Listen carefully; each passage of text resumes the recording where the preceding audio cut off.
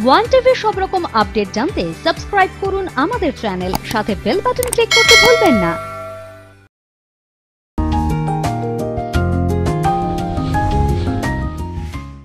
কোনো কোনো দিন আকাশে শেষ বর্ষার বৃষ্টি, আর কোনো কোনো দিন একেবারে ঝকঝকে নীল আকাশ, সাদা মেঘের ভেলা। বর্ষা শরতের এই একেবারে প্রান্ত সীমায় দাঁড়িয়ে বই আড্ডা লিকাচা অনুষ্ঠানে আজকে আমরা অতিথি হিসেবে পেয়ে গেছি নব্বই দশকের অন্যতম উল্লেখযোগ্য একজন কবি বিশিষ্ট ক্রীড়া সাংবাদিক ঔপন্যাসিক সব্যসাচী সরকারকে আজ আমাদের অনুষ্ঠানে অতিথি সব্যসাচী সরকার সব্যসাচী নমস্কার আপনাকে নমস্কার। সব্যসাচী তুমি বলি আমাদের হ্যাঁ। এতদিনের আসলে হ্যাঁ। বন্ধুত্ব দর্শক বন্ধুরা জানেন নিশ্চয়ই হ্যাঁ সেই নব্বই দশকে যখন হইচই করে একেবারে বিজল্প পত্রিকাকে ঘিরে মেলার মাঠে আমরা কবিতা লিখতে লিখতে হইচই হুল্লোড় করতে শুরু করলাম। তুমি তখন আনন্দবাজার পত্রিকায় সদ্য ঢুকেছ। তুমি এবং পৌলমি আমাদের মনে আছে। তোমরা দুজনে মিলে আনন্দবাজার থেকে আমাদের বিজল্পের আড্ডায় চলে আসতে। সেই দিনগুলোকে কি তুমি এখনও মিস করো? দেখো, এই দিনগুলোর জন্য তো আজকে এই জায়গায় পৌঁছেছি। এক, আর দ্বিতীয় হচ্ছে ওই দিনগুলো যদি না থাকতো, তাহলে তো কবিতার জগতের সঙ্গে, তোমাদের সঙ্গে এবং এত বড় যে দুনিয়া তার সঙ্গে যে বন্ধনটা সেটা তো হতো না। আর তুমি পৌলমীর কথা বললে পৌলমী এখন নেই কিন্তু আমাদের দুজনেরই বেড়ে ওঠা একসঙ্গে। আমরা কলেজ জীবনে সেন্ট জেভিয়ার্স কলেজে আমরা নয়ের দশকের একদম গোড়ায় তার আটের দশকের শেষে আমরা একসঙ্গে পড়াশুনো করতাম সেন্ট জেভিয়ার্স কলেজে ইংরেজি নিয়ে। সেখান থেকেই আনন্দবাজার অফিসে আনন্দমেলার দপ্তরে যাতায়াত। সেখানে কবি শ্যামলকান্তি দাস প্রথম আমার কবিতার কথা বলেন এবং সুনীল গঙ্গোপাধ্যায়ের কাছে নিয়ে যান। তার আগে অল্প স্বল্প লিখেছি।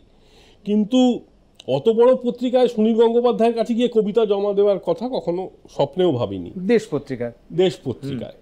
তা শ্যামলদা নিয়ে গেলেন সুনীলদা যেমন করেন তুমি খুব ভালো জানো একটু দেখে দুটি তিনটি কবিতা রেখে দিলেন।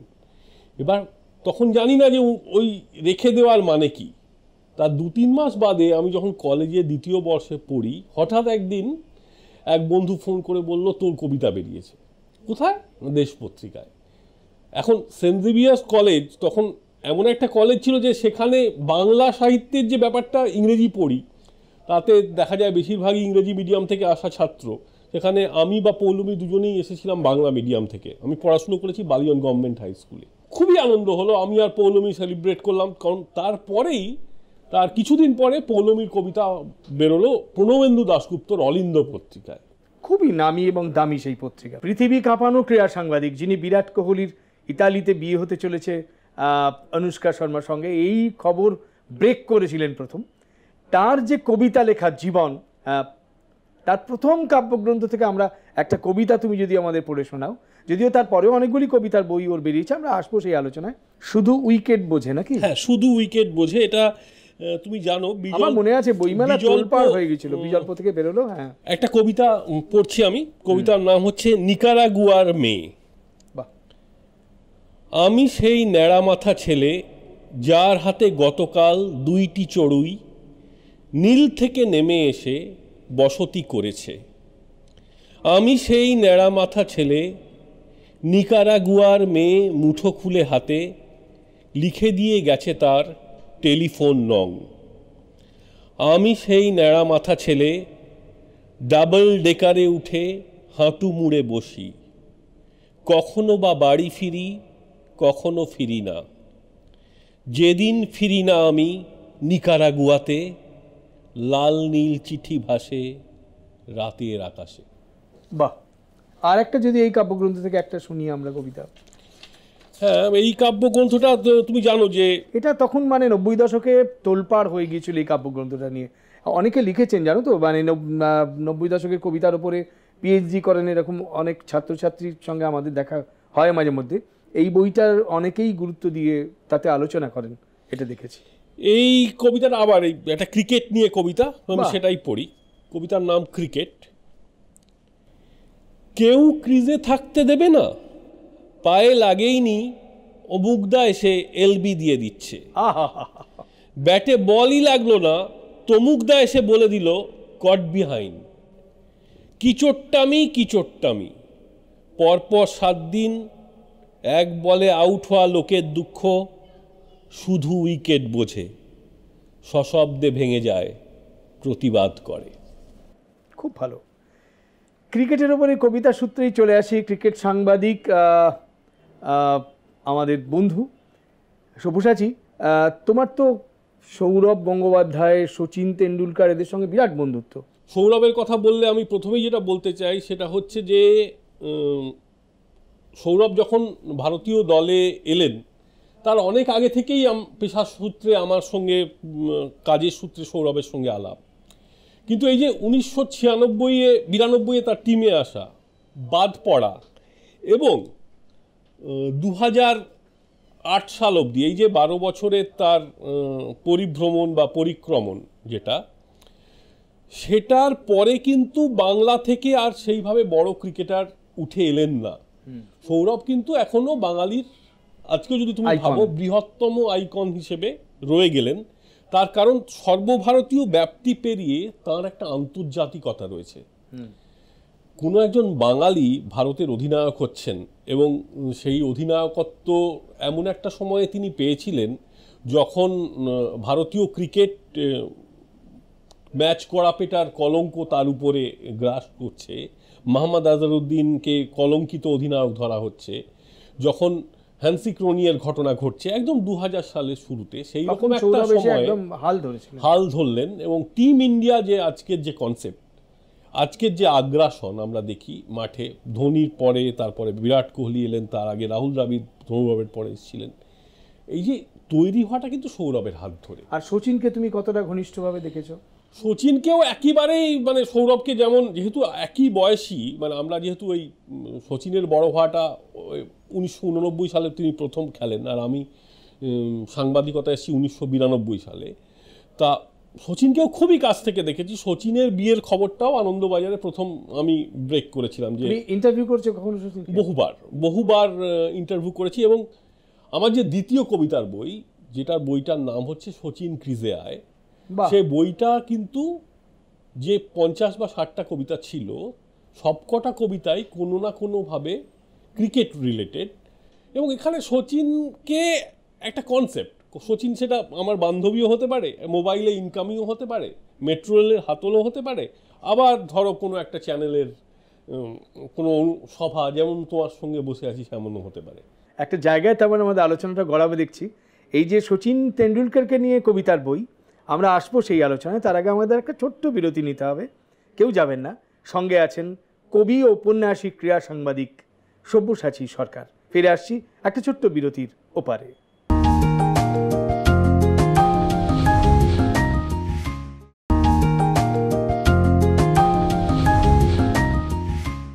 ফিরে এলাম। বই আড্ডা লিখাচ্ছে অনুষ্ঠান নিয়ে সঙ্গে আছেন ক্রিকেট সাংবাদিক, কবি, ঔপন্যাসিক সব্যসাচী সরকার। সব্যসাচী, কথা হচ্ছিল সচিন তেন্ডুলকারের ওপর তোমার লেখা বইটা নিয়ে। কবিতার বই। তার আগে আহ, সচিনের যেটা তুমি বলছিলে বিয়ের খবরটা ইত্যাদি একটা একটু জেনে নিই। সচিনের যে বিয়ের খবরটা সেটা আনন্দবাজার পত্রিকায় ব্রেক করেছিলাম আমি। উনিশশো পঁচানব্বই সালে। তখন অঞ্জলি তেন্ডুলকারের সঙ্গে তার সম্পর্কটা নিয়ে প্রচুর জলঘোলা হচ্ছিল।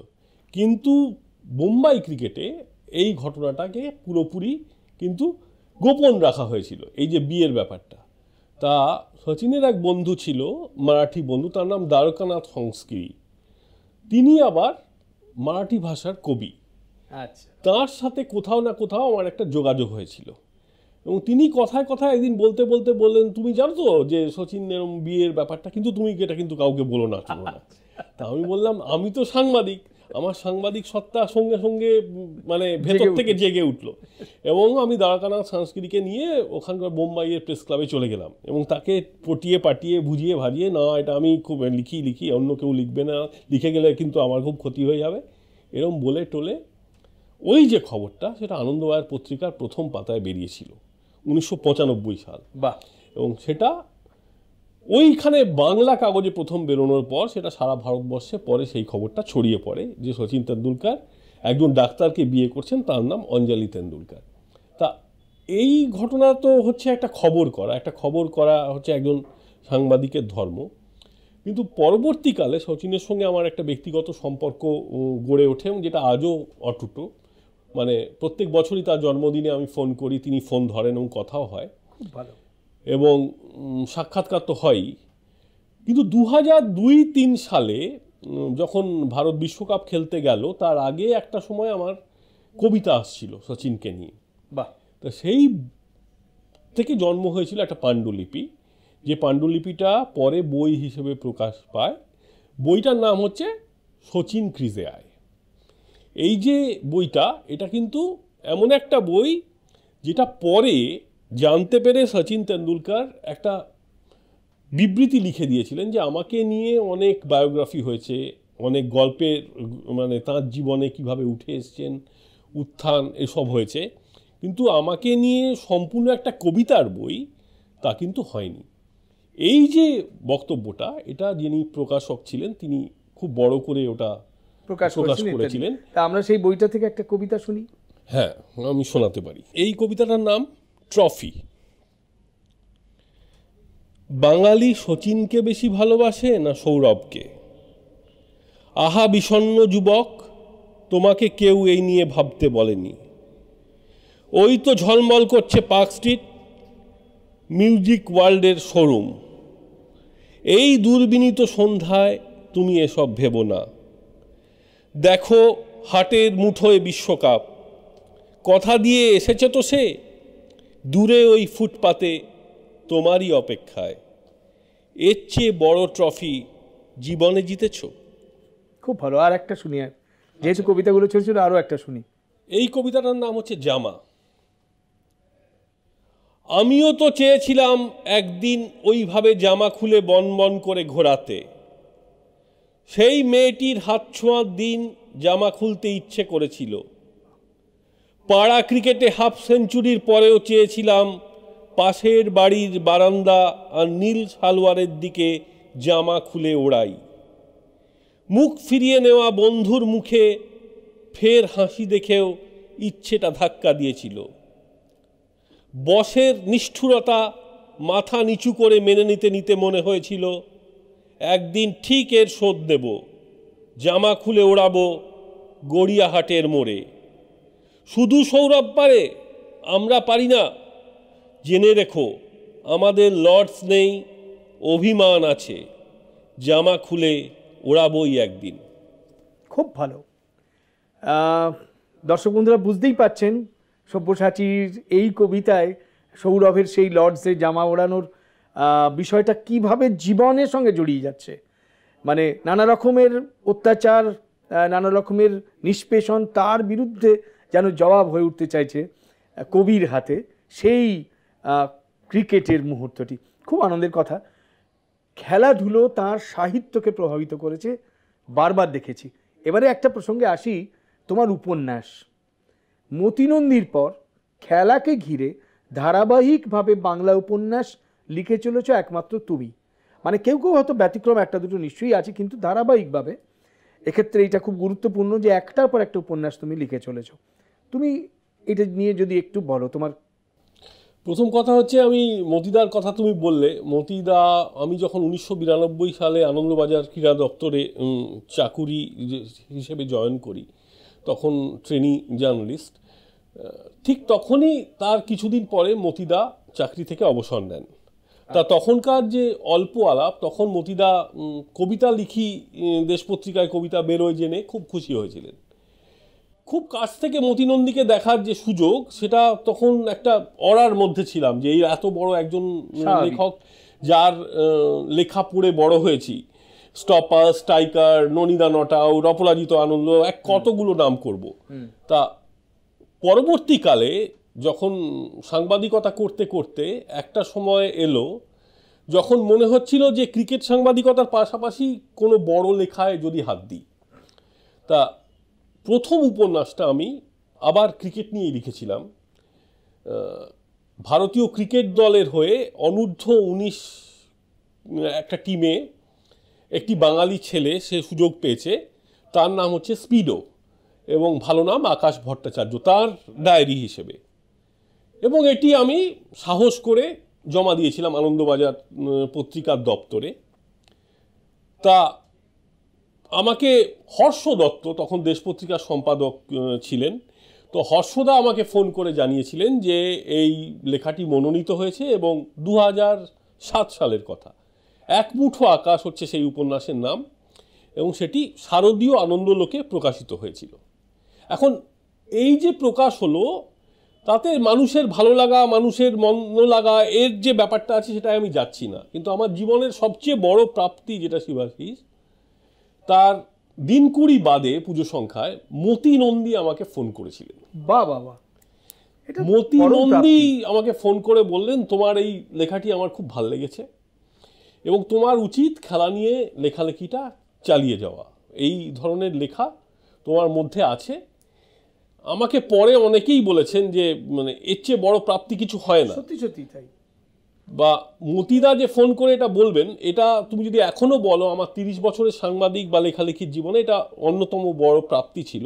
তার পরবর্তী প্রজন্মের একজন ক্রীড়া সাংবাদিক, যিনি খেলাধুলোকে ঘিরে উপন্যাস লিখছেন, তাকে উৎসাহিত করেছেন। এহেন সব্যসাচী সরকারের উপন্যাসের স্বাদ আমরা পেতে চাই। আসছি। তার আগে নিতে হবে আমাদের একটা ছোট্ট বিরতি, কেউ যাবেন না। সঙ্গে আছেন সব্যসাচী সরকার।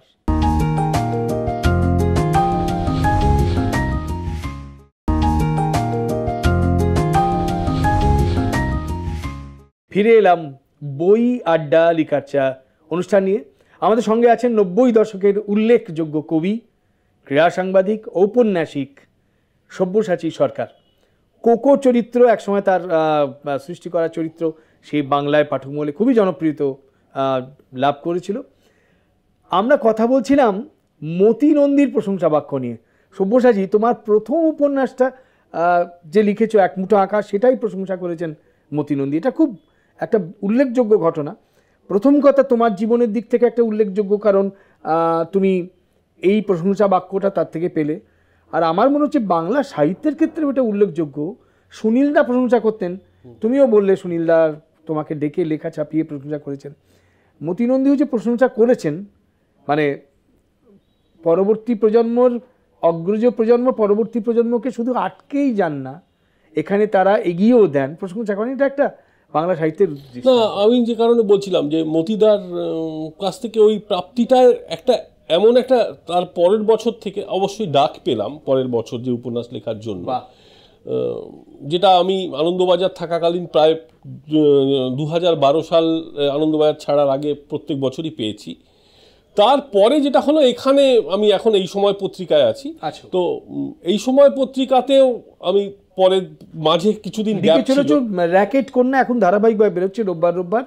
আহ, সেও তো খুব উল্লেখযোগ্য উপন্যাস হচ্ছে হ্যাঁ। হ্যাঁ তার আগে বিষাক্ত বাইশ বলে আমি আইপিএলে নিয়ে আইপিএলের যে ভেতরের দিকটা সেটা নিয়ে লেখার চেষ্টা করেছি। তা সেটি তো বই হিসেবে প্রকাশিত হয়েছে র্যাকেট কন্যা বেরোলো। এখন তুমি এক মুঠো আকাশের যে কথাটা বলছিলে। এক মুঠো আকাশ থেকে যদি একটুখানি পড়ে তুমি আমি। অল্প একটু পড়ছি আমি জাস্ট বলে নিই। সেটা হচ্ছে যে ওই যে অনূর্ধ্ব উনিশ ক্রিকেটারটির কথা বলছিলাম সে সফল হয়ে দেশে ফিরছে তখন সে যার কাছে তৈরি হয়েছে মানে বল্টুদা বলে একটি চরিত্র তার সাথে তার দেখা হচ্ছে এখন সে তারকা হয়ে গেছে ছেলেটি ফিরে আসছে এবং তাই সেই কোচের সঙ্গে দেখা হওয়ার সময় কি হলো তার অল্প একটু অংশ আমি পড়ছি। বেশ। বল্টুদা সিগারেট প্যাকেট থেকে একটা সিগারেট বের করে ধরাতে ধরাতে বলেছিল তুই তোর বৌদির জন্য চোখ মুছে নে, কিন্তু তোকে দু একটা কথা বলার আছে। শুনলাম তুই পাড়ার সংবর্ধনা সবাই স্টেজে উঠে বসেছিলি। পার্টির লোকফোক ছিল। নেক্সট টাইম তুই যদি এসব করিস, তাহলে তুই আমার বাড়িতে ঢুকবি না। তুমি বিশ্বাস করো বল্টুদা, আমি বুঝতেই পারিনি। ওরা আমাকে জোর করে স্টেজে তুলে দিয়েছিল। বিশ্বাস অবিশ্বাসের কোনো প্রশ্নই উঠছে না। তুই ইচ্ছে থাকলে নেমে আসতে পারতিস। তা না করে তুই হিরো হয়েছিস ভেবে নাচতে নাচতে স্টেজে গিয়ে বসেছিলি। টিভিতে ইন্টারভিউ দিচ্ছিস। কি ভাবছিস তুই আমাকে? আমি কিছু জানি না। কাল তোকে রেলওয়ে ডাকবে, দু তিনটে গভর্নমেন্ট কোম্পানি ডাকবে পোর্ট ট্রাস্ট ডাকবে, তুই একটা চাকরি পেয়ে যাবি। বেঙ্গল খেলবি, কিন্তু তার বাইরে আর কিচ্ছু হবে না। তোর বড় স্বপ্ন দেখা, ওরা বন্ধ করে দেবে। একটা ম্যাচে কটা উইকেট নিয়ে তুই সাপের পাঁচ পা দেখেছিস? তুই বোঝাবি আর আমি বুঝে যাব? আমি বললাম, না বল্টুদা, তুমি এভাবে বলো না। প্লিজ এভাবে বলো না। বল্টুদা তেড়ে এলো। ন্যাকামো হচ্ছে? যা, বাড়িয়া, টিভিতে ইন্টারভিউ দে। আবার কেঁদে ফেলেছিলাম আমি। কি করে বল্টু বল্টুদাকে বোঝাবো? আমি নিজে থেকে স্টেজে উঠিনি, ওরা তুলে দিয়েছিল। কিছুক্ষণ পরে, কি ভেবে আমার কাছে এসে দাঁড়িয়েছিল বল্টুদা পিঠে হাত দিয়ে বলেছিল, সব সময় মনে রাখবি, ক্রিকেট বড় রহস্যজনক খেলা। মিস্টিরিয়াস এই খেলায় কোনো দিনই তুই সব কিছু জানতে পারবি না। একটু ধাঁধা কোথাও না কোথাও থেকে যাবে। রোজই একটু একটু করে জানতে জানতে এগোতে হয় এখানে। এখানে এক্সট্রা কনফিডেন্স দেখালেই তুই শেষ। আন্ডার নাইনটিন তোর ডেস্টিনেশন হতে পারে না রে। কোনো দিন হতে পারে না। এইসব টিভি চ্যানেল সংবর্ধনা, এসব যদি মাথায় ঢুকে যায়, তুই খেলবি কখন? ফোকাসটাই তো নষ্ট হয়ে যাবে। বাহ! খুব উল্লেখযোগ্য, খুব গুরুত্বপূর্ণ একটা অংশ সব্যসাচী আমাদের জন্য নির্বাচন করেছিল। সব্যসাচী সুনীল গঙ্গোপাধ্যায়, আমাদের প্রিয় সুনীলদা, তুমিও খুব ঘনিষ্ঠ সান্নিধ্য পেয়েছ তার। তিনি বলতেন যে, কবিদের হাতে গদ্য ভালো খোলে। তোমার কি মনে হয় কবিতা লেখা দিয়ে শুরু বলে, জীবন শুরু বলে তুমি এত ভালো লেখালেখি করলে সারা জীবন? হ্যাঁ দেখো, সুনীলদা তো আমার প্রথম কবিতা ছেপেছিলাম এবং সুনীলদার খুব কাছের লোক ছিলাম, যাই হোক। আমিও এটা মনে করি যে, কবিতা যারা লেখে তাদের মধ্যে গদ্য লেখার কেউ কেউ হয়তো মনে করেন যে গদ্য লেখার মধ্যে কবিত্ব অনেক বেশি এসে যায়। কিন্তু আমার এক্ষেত্রে মনে হয় সুইচ অন এবং সুইচ অফ করায়, যেহেতু আমাকে সাংবাদিকতাটাও করতে হয়েছে। এবং সাংবাদিকতা করার একটা দিক হলো যে তুমি কখনোই নিজের ইচ্ছা মতো সব করতে পারবে না। তোমাকে একটা নির্দিষ্ট বাঁধনের মধ্যে পাঁচশো শব্দ হোক বা ছশো শব্দ হোক, তার মধ্যে তোমাকে একটা শৃঙ্খলায় এগিয়ে এগিয়ে যেতে হবে। এই যে শৃঙ্খলাটা ধরো রাত এগারোটার সময় একটা খেলা শেষ হচ্ছে। ভারত বনাম ইংল্যান্ডের ধরো টেস্ট ম্যাচ। এবার কলকাতা শহরে তোমাকে ওই রিপোর্টটা তুমি যদি প্রেস বক্সে থাকো, এগারোটা দশ বা পনেরোর মধ্যে পাঁচশো শব্দ লিখে কিন্তু পাঠাতে হচ্ছে। উপযুক্ত মান রেখে। এই যে পাঠাতে হওয়াটা, এটা কিন্তু খুব জরুরি, তার কারণ হচ্ছে সময় তোমার হাতে খুব অল্প। এই যে এতটা কম সময় হাতে রয়েছে, এর মধ্যে ওই পাঁচশো শব্দ লিখে ফেলা এটা পরবর্তীকালে মানে কবিতা এবং সাংবাদিকতার চর্চা দুটোই তোমাকে কন্ট্রিবিউট করেছে সেক্ষেত্রে তোমার লেখায়। হ্যাঁ, উপন্যাস লেখায় এই যে শৃঙ্খলা এটা কিন্তু খুব জরুরি। তার কারণ হচ্ছে অনেক ক্ষেত্রেই মনে হয় চার হাজার বা পাঁচ হাজার শব্দ লেখার পরে বাবা আরও লিখতে হবে। যেটা সুনীলদা বলতেন যে রোজ লেখাটা খুব জরুরি। এই যে রোজ সাদা পাতার সামনে বসা এটা অনেকটা ক্রিকেট পিচে গিয়ে ব্যাটসম্যান শূন্য রানে ক্রিজে যাওয়ার মতো। একটা বাইশ গজ সেখানে যখন এখন ব্যাটসম্যান ক্রিজে যায় প্রত্যেকবারই তার নামের পাশে কিন্তু শূন্যই লেখা থাকে। বটেই। এবার তুমি যখন একটা লেখার খাতায় যাচ্ছ সাদা পাতার সামনে তখনও কিন্তু তোমার নামের পাশে শূন্য লেখা আছে।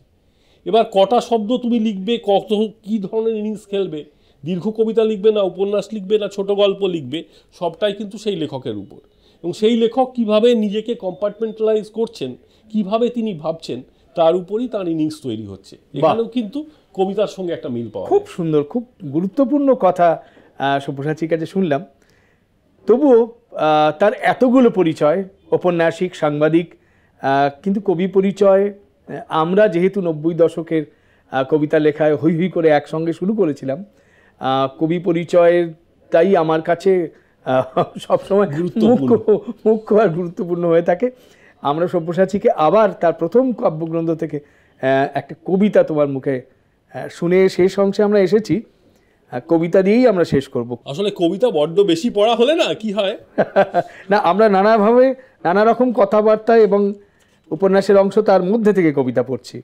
নব্বই দশকের একেবারে গোড়ায় লিখতে এসে যারা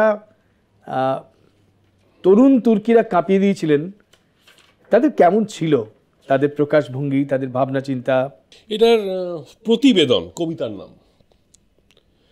সমুদ্রের কাছে এসেও ফিরে গেলে বালির কটেজে। জল নেই, থালা নেই, ডিনার টেবিলে শুধু সারি সারি গেলাস সাজানো।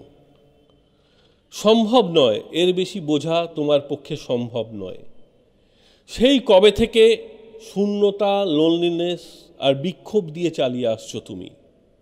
শূন্য গেলাস হাতে কোন মুখে সেসব লিখবে? স্টাফ রিপোর্টার শোনো ক্ষমা করো, ঘেমে ওঠো, ভেঙে পড়ো তুমি।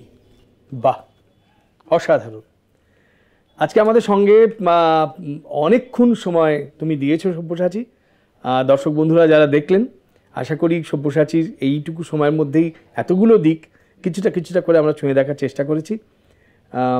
এবারে তো বিদায় জানাতেই হয় অতিথিকে। অনেক ধন্যবাদ, তুমি অনেকক্ষণ সময় দিয়েছ। আমার পক্ষ না থেকে। মানে তুমি তোমার সঙ্গে তো আজকের সম্পর্ক না এত বছরের প্রায় তিরিশ বছর হয়ে গেল তোমাকে আমি চিনি। এবং উনিশশো সাতানব্বই সালে তুমি যখন প্রথম কৃত্তিবাস পুরস্কার পেলে আমার মনে আছে আমরা কি আনন্দ করেছিলাম। তা তোমার কবিতার বইয়ের দিকে আমরা নিশ্চয়ই তাকিয়ে থাকি। যখনই নব্বই দশকের কবি হিসেবে তো না আমি স্কুল অফিস ছাপাখানার সময় থেকে তোমার কবিতার গুণগ্রাহী পাঠক। কাজেই চাইব যে তোমারও নতুন বই বেরোক। বেশ আজকে অনেকক্ষণ সময় দেওয়ার জন্য তোমাকে অনেক ধন্যবাদ নমস্কার।